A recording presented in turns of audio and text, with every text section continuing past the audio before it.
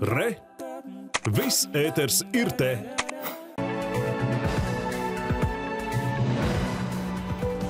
В Латгале и на востоке Видземы в четверг сохранится пасмурная погода с дождем и мокрым снегом. На остальной территории страны будет солнечно. В основном осадки ожидаются ночью и утром. Будет дуть слабый умеренный западный юго-западный ветер. Температура воздуха ночью понизится до плюс 1, плюс 4. Днем составит до плюс 3, плюс 8 градусов. В Риге четверг пройдет без осадков. Облачность уменьшится.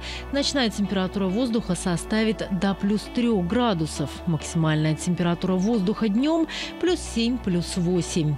В ближайшие две недели в Латвии не ожидается резкого изменения погодных условий. Не будет ни мороза со снегом, ни резкого потепления. Свидетельствуют прогнозы синоптиков. Во второй половине текущей недели осадков станет меньше, а по ночам немного похолодает. В ночь на пятницу температура воздуха опустится до плюс 2, минус 3.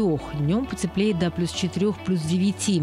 В середине марта температура воздуха сохранится выше нуля. В некоторые солнечные дни воздух может пригреваться до плюс 10 градусов и даже немного выше. Временами ожидаются осадки и порывистый ветер. А вот во второй половине месяца повысится атмосферное давление. Температурные колебания будут более выражены.